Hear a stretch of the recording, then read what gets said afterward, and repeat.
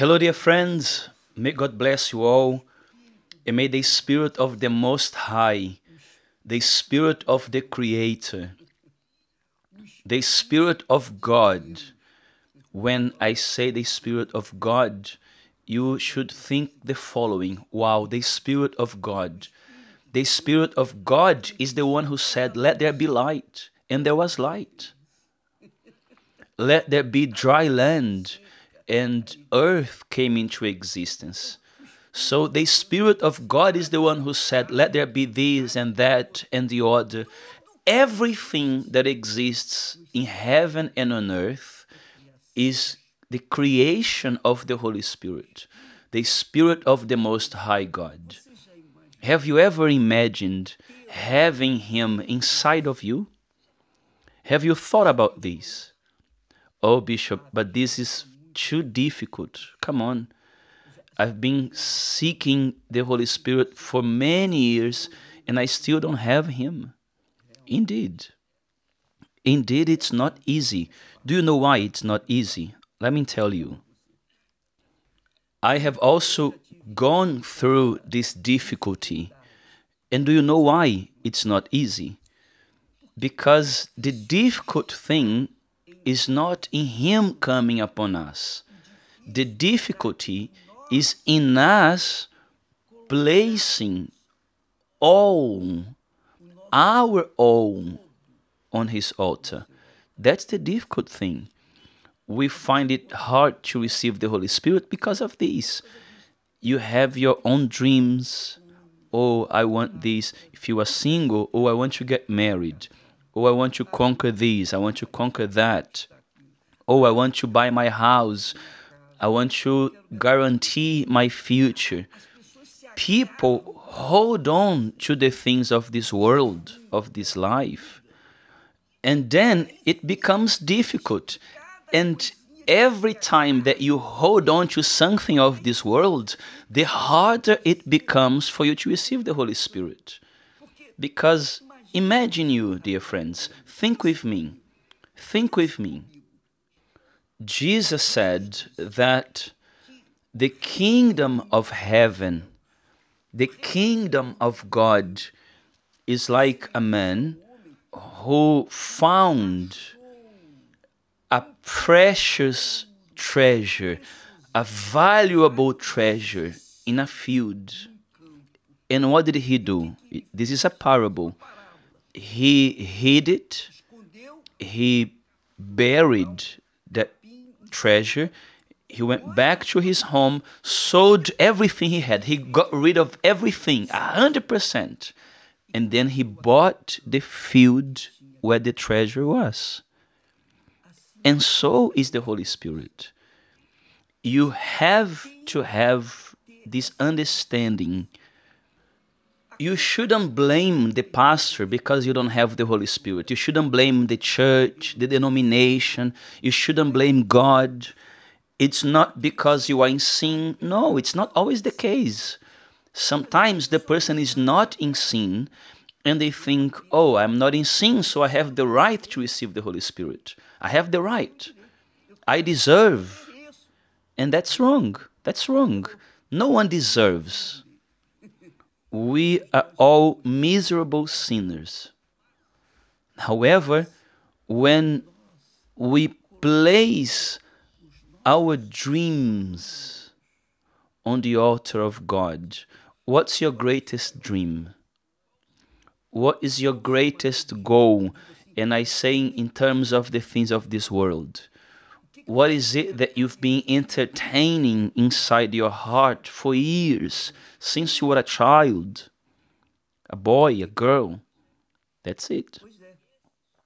This dream or these dreams, place them on the altar.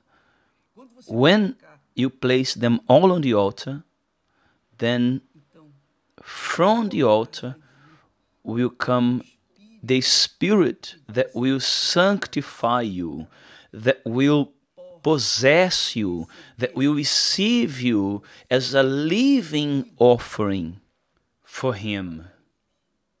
And then He descends upon you. This is what happened to Jesus. Jesus had to receive the Holy Spirit in order to finish the work that he did. So when he received the Holy Spirit, the Holy Text says that being in the form of God, he did not consider it robbery to be equal with God because he was born of God and he had received the Spirit of God. But still, he made himself of no reputation, zero reputation, zero reputation. He couldn't say, Oh, I am the Son of God. I was born of the Holy Spirit. I received the Holy Spirit. You saw the Holy Spirit as a dove coming upon me. Nothing like that. Jesus didn't say anything. He took the form of a bond servant. A servant is the one who obeys. A servant only serves and nothing else. Did you know that? a servant only serves to serve, or he only lives to serve because he's a servant. And that's what Jesus did. And before God, there is no boss, there is no head, there is no I'm this or that, nothing. You have to put yourself as a servant, a servant giving your desire, or rather, giving your desires to Him and coming, so Jesus came in the likeness of men. And being found in appearance as a man, he humbled himself, he humbled himself and became obedient to the point of death, meaning that he was a servant until the last moment of his life which was a death of cross, which was the most shameful and humiliating death there was back then. Therefore, the Holy Text says, look how nice. If he honored God with his will by humbling himself, if he stripped himself off of his glory and divine nature, he stripped himself off of his glory, becoming like a man.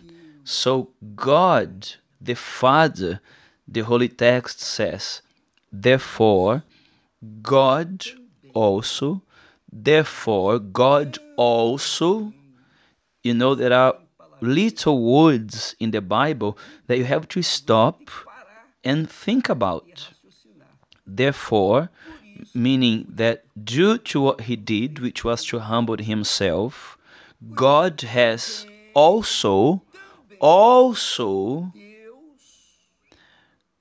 God also has highly exalted him above all things, highly exalted above everything, all things, all things, and given him the name and given him the name which is above every name, the most important name there is in heaven and on earth. What for? That at the name of Jesus, every knee should bow, every knee should bow, of those in heaven, of those on earth, and of those under the earth everyone bows down before him, and that every tongue should confess that Jesus Christ is Lord. Hallelujah. What for? To the glory of God the Father. So imagine when you honor God with your life, oh my God, He's my will, my dreams. You know what I want for my life. You know, you know of my dreams. I will repeat my testimony to you because there was a time that I was walking on the street there in Lapa, Rio de Janeiro.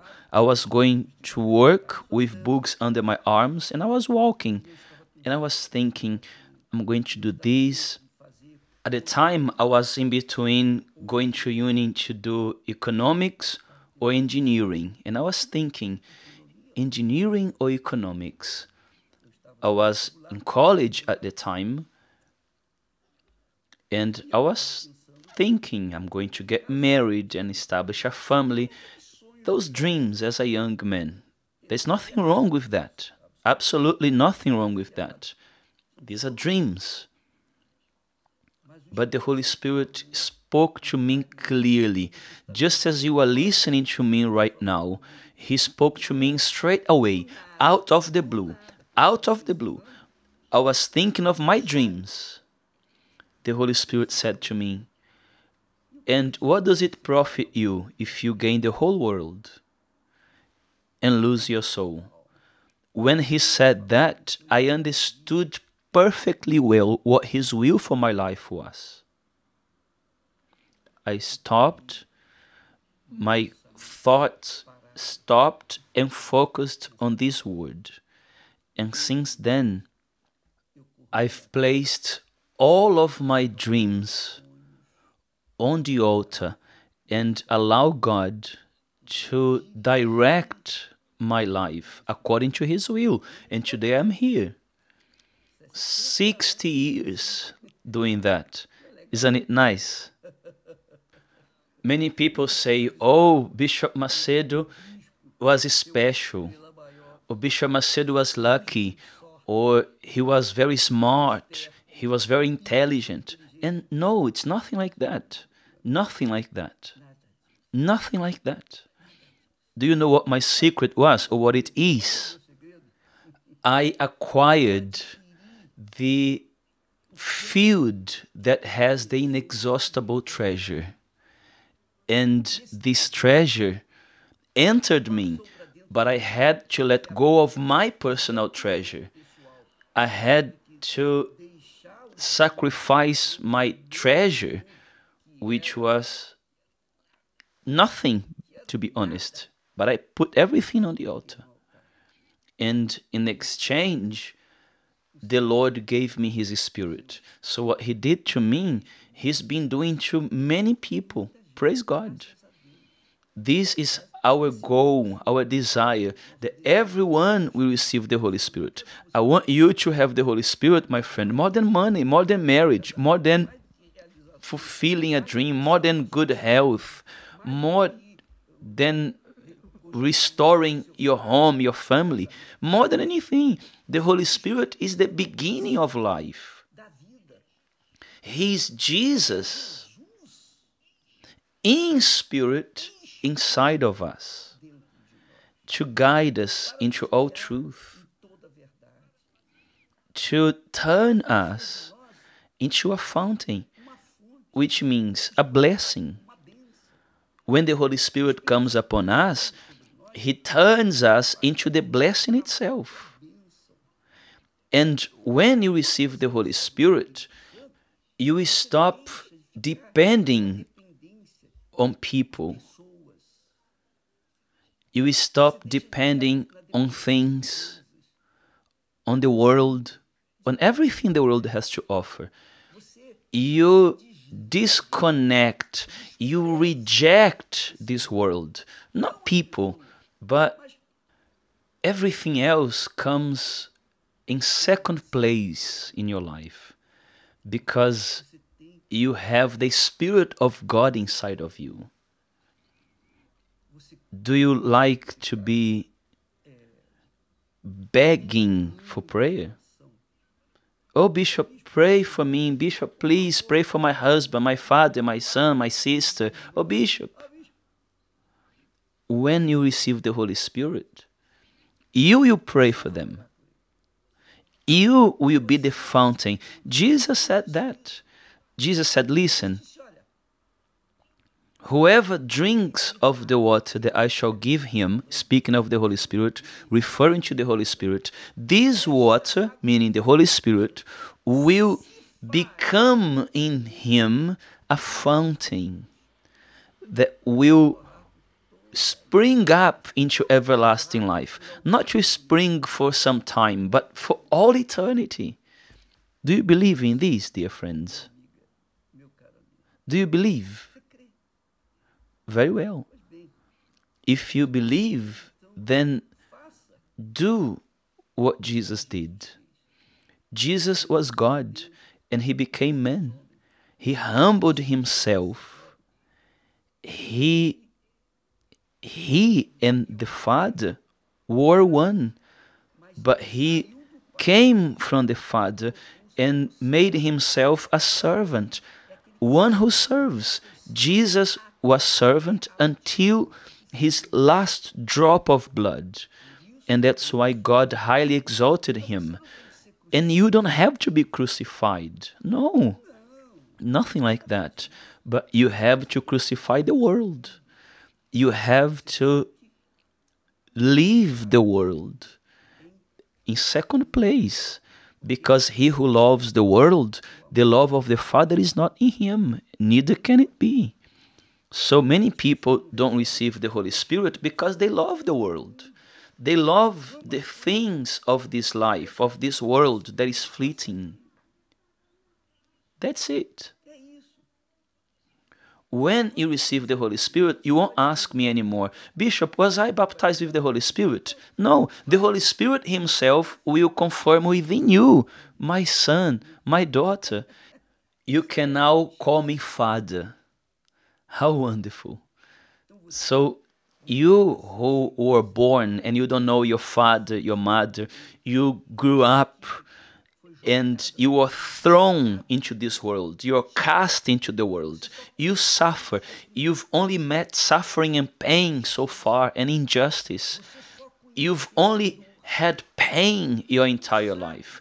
You don't know what joy is.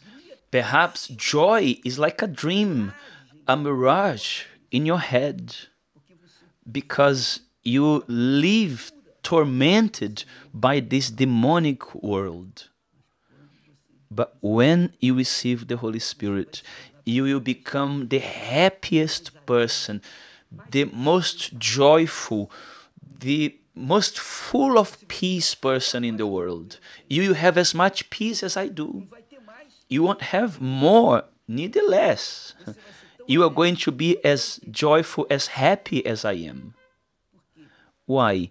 Because the Spirit of God will fill you and turn you into the blessing itself, into a fountain. You know that a fountain is always flowing, always giving. Yes or no? Isn't it nice? A fountain is always giving, giving, and giving. So, dear friends, think big. God is great. Our God is a big God. God is infinitely great. What He promised to Abraham, up until today, He's been fulfilling. He's been honoring Abraham. Because when we speak of the God of Abraham, we speak of the God who made a covenant with Abraham.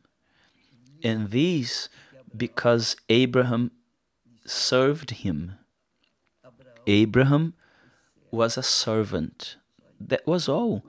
He placed his future, his destiny, everything in his hands. Do the same. You can do that. Do you need money to do that? No. Do you need to be deserving of it? No. You don't need anything. You only need to decide in your mind Listen, indeed, now I understood. The penny has finally dropped. I will do it now. Go today. Today still. Go to a church, even if it's your own church, your own denomination. Go. It doesn't matter where, or there where you are. You can, right now, in this very moment, receive the Holy Spirit. Did you know that? There is no walls, there is no blockages for him to come upon you except yourself. Yourself. When you place your entire life on the altar, which means you truly place yourself as a servant of His. Oh my God, let your will be done. Do your will in my life. Here it is. My dreams, my dreams, my projects. You continue studying, you continue working, you continue doing what you do. However, your thoughts are focused on Him. Then He will visit you, and it can happen right now, in this very moment. It can happen right now. Oh, Bishop, pray for me. No, I will not pray. You will pray for yourself. Use the faith that you have there within you. It's small, no problem. But it's powerful if it's pure, clean, transparent, sincere. God is looking for people who are sincere. People who are sincere. He doesn't look for those who are perfect. He doesn't look for perfection in us because he knows he won't find. No one is perfect. No one would be perfect for him. However, when a person says, Oh my God, I'm full of mistakes, I'm like this, we all are. We all are. We are all full of flaws. We are human beings. Sometimes we say things that we shouldn't have said. Sometimes we think things we shouldn't have thought. Sometimes we look at things that we shouldn't have looked. Sometimes we judge everything wrong because we are human beings. We are flesh and bones. We are this substance that deteriorates. But when we present to God this sincerity, dear friends, there is nothing like sincerity because God knows who we are already. But when we recognize our frailty, our weaknesses, our nothingness, and we say, Oh my Lord, have mercy on us, have mercy on us and, and save us, then God approves and He seals and He blesses us and He fills us with His Spirit. Dear friends, you can take advantage of this moment wherever you are and, and do that right there where you are. Do not depend on anybody. Depend on yourself and above all, depend on the promises of God. May God bless you all. And today, as it usually happens on Wednesdays, but especially today, this Wednesday, do you enjoy the Word of God? You do? Do you like hearing the Word of God? You do? Amen. Very well.